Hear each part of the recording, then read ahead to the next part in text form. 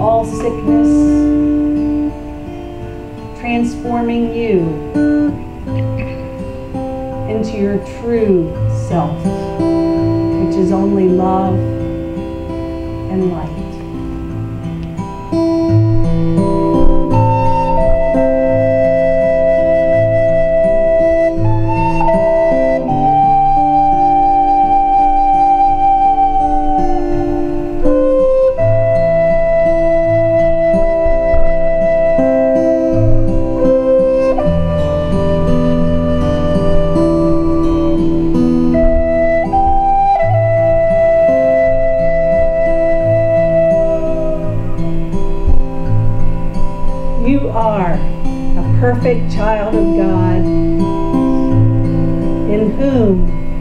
Your Father is well pleased. There is nothing you need to do but just allow, be present, accept this moment.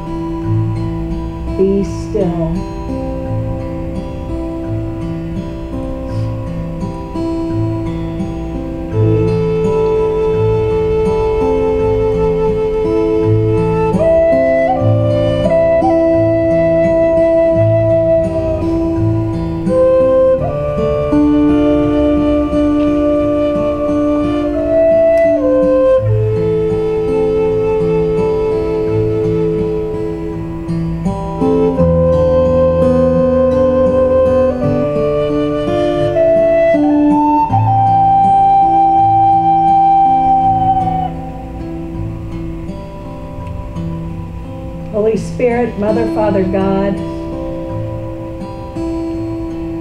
we give thanks for this moment.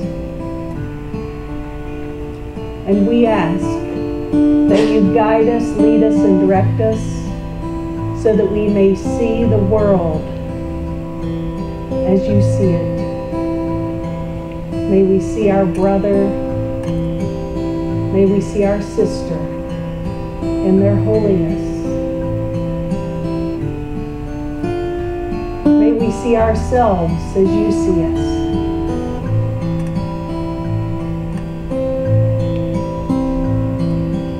We give thanks for this opportunity and know that all is in divine and perfect order.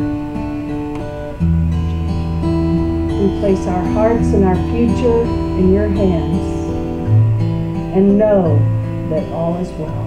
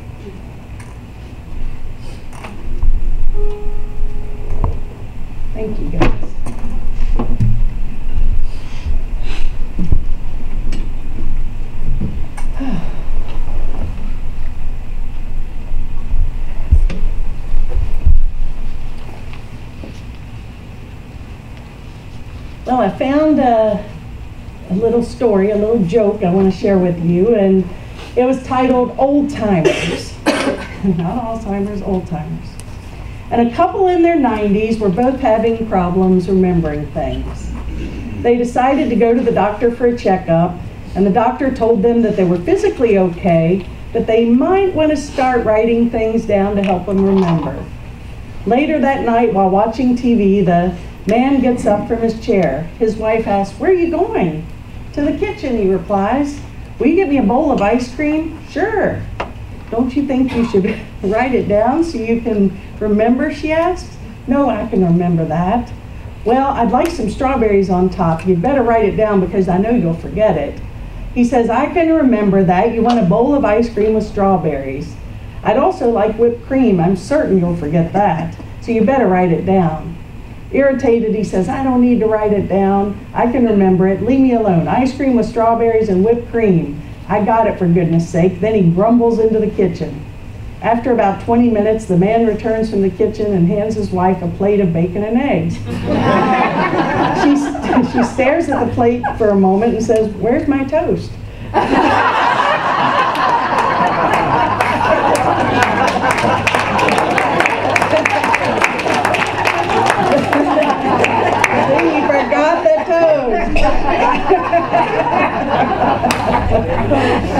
oh, goodness. So, okay, well, today, you know, it, uh, for some reason, I sort of had some things, you know, I always jot things down during the week that I want to discuss and share, and but nothing had really come to me. Um, but I knew after last evening's uh, festivities at Highland Lake Cove with Carrie and the gang, uh, I would be inspired in some way. And of course, that happened. It was actually um, a wonderful little gathering. Carrie Lindsay uh, is, for those of you that don't know, we bought our land from him. He's created, down turn the volume down. I think it's, um, anyway, he had, uh, he's created a beautiful, beautiful uh, paradise over there, Highland Lake Cove, which is a fantastic place. He's, uh, many of you have been there. We had our ministers' luncheon there last week, the amphitheater, uh, lots of great programs, uh, just wonderful, wonderful things, gardens. And so a few of us got together last night and we were just visioning for the future. And he had an exercise uh, that I, I found um, very helpful. I've actually done it before, but last night it, it seemed to really uh, inspire me so much. And uh, what he had us do was actually vision ourselves retired uh, in the future, say uh, 20 years from now. Uh, the, as after we've manifested our dream, li live from your dream, and and just talk about it. So we're sitting here. We got up in partners, and I had a wonderful little gal that was my partner, and we discussed you know, where we were 20 years from now. And it was interesting because I didn't know her at all, uh, barely. I knew she made a really kick butt uh, honey cake. I knew that because I'd had that about two months ago at Roger's birthday parties. I knew that about her, but I didn't know a darn thing else. But she was a nurse and uh, she works. I tell you, if you ever go to Mission Hospital and have surgery, she's who you want in the recovery room because she was telling me how she uh, works with the, uh, the patients who come out of surgery, and, and she's phenomenal. She gives them Reiki and she's uh, whispers in their ear and wonderful. But not meaning to digress on that, but we were talking about our vision and sitting 20 years from now and what that looked like. And it was really, really, really powerful. And, um, you know, I was sharing that, you know, oh, it was so wonderful uh, having our Namaste Center um, finished and, and being so wonderfully utilized and thriving and having kids programs and uh, great musicians coming in and all of these great uh, things that were happening there. And we were doing a lot of things in conjunction with uh, all the folks at Highland Lake and it was just so much fun. And what was even greater that we all were able to co-create from a space of love without any agendas, without any really plans, just open our hearts and, and be present in each moment. And, and what we were able to create uh, was so magnificent, better than anything we could have ever imagined or made up.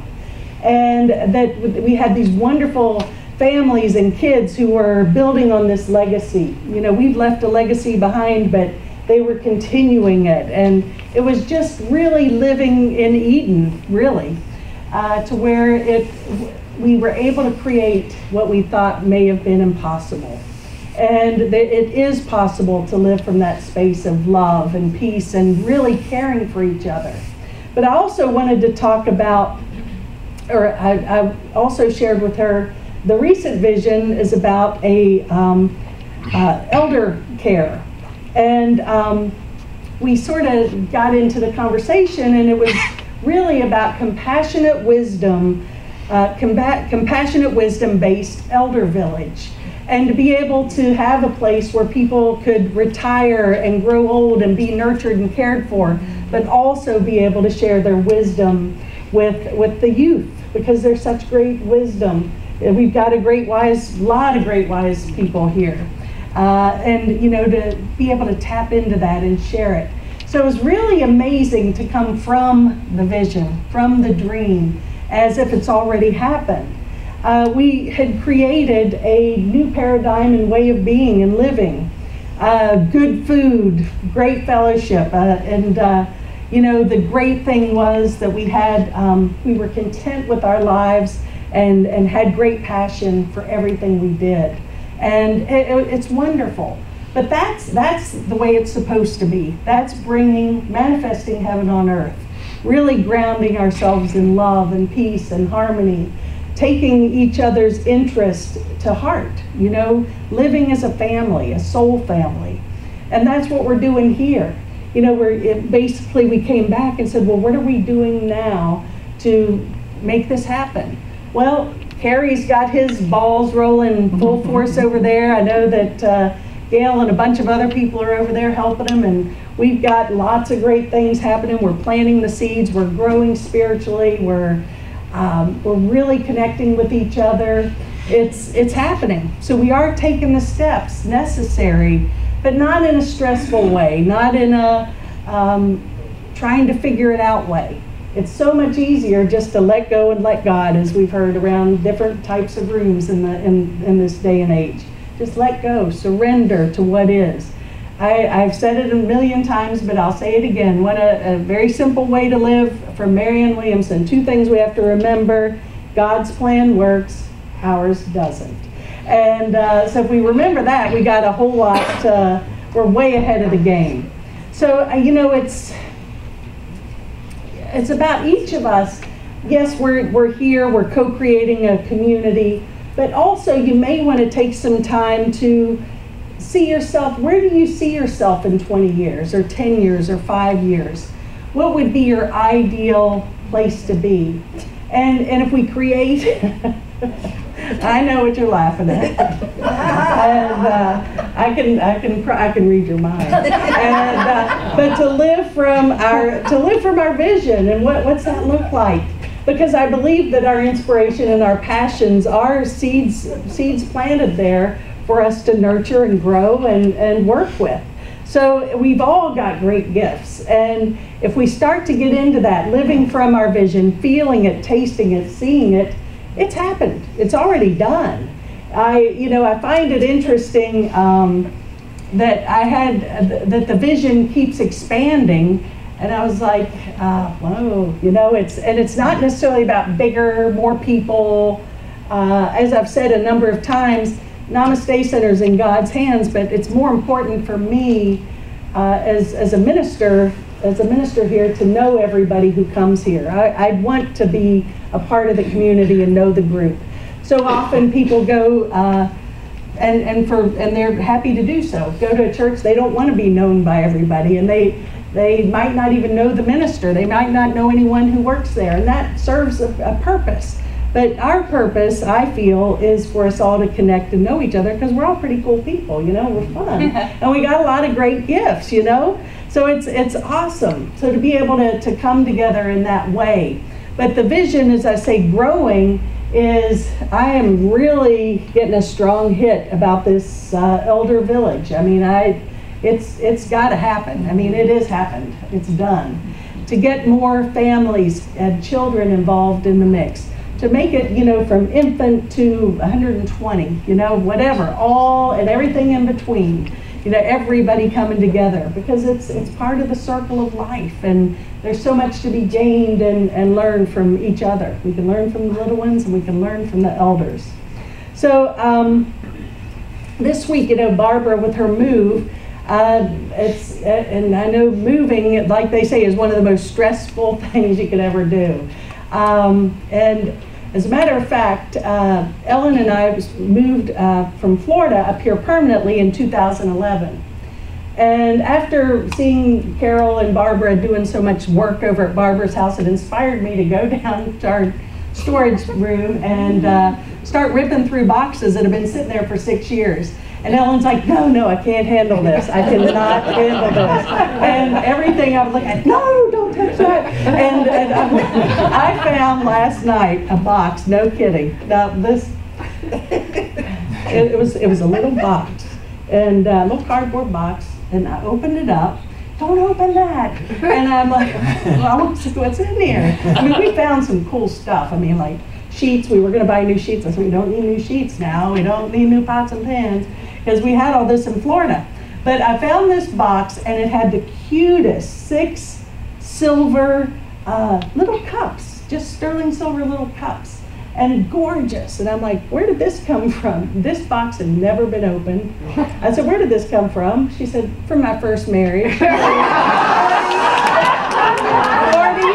years ago. And she was like, don't mess with my stuff. I'm like, you didn't even know this was in here. And, and so when I, I say this, I mean, it is funny, but you know, it's all that baggage that we, uh, you know, uh, carry around in our life.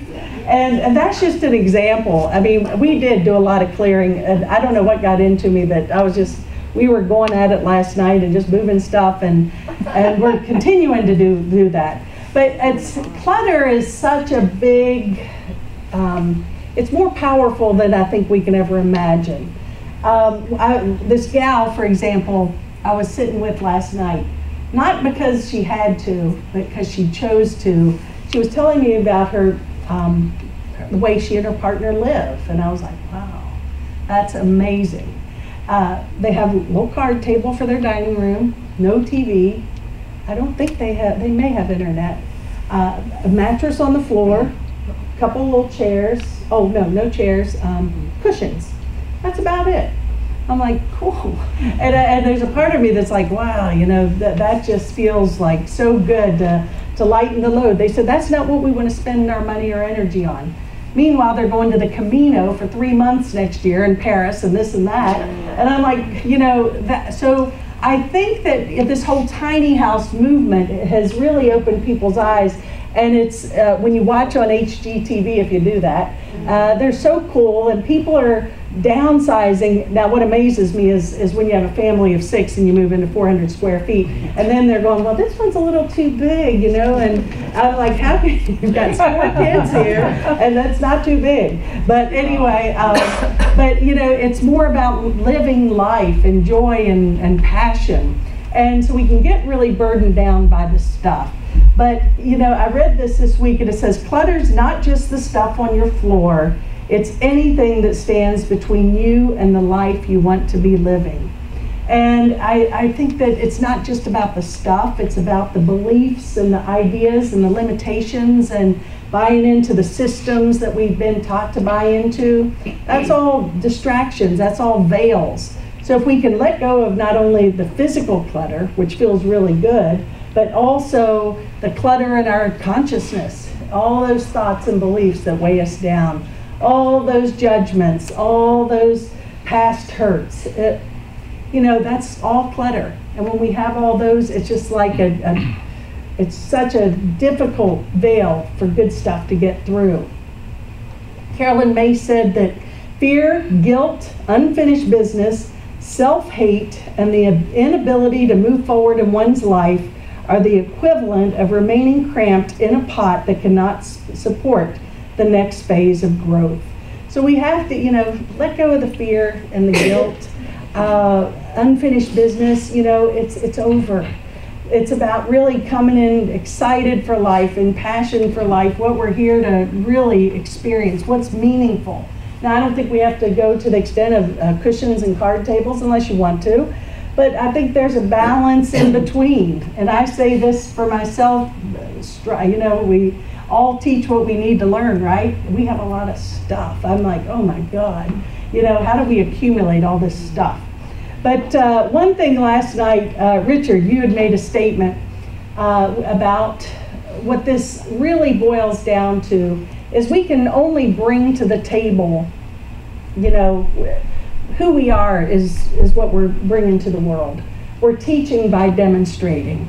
So we're all really here to learn how to love ourselves. And I like the way you said it self love rules.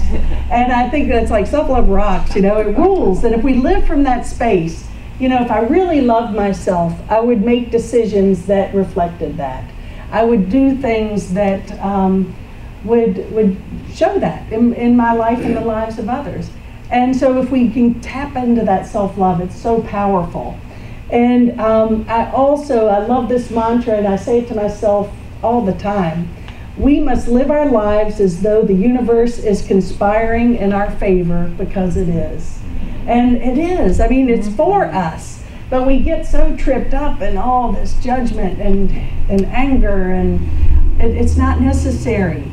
We can sort of step out of this bubble of insanity and create a love bubble. I mean, that's what we're doing here. And it's like, no, we don't have to uh, the Course in Miracles has a, a lesson. I am under no laws but God's, period.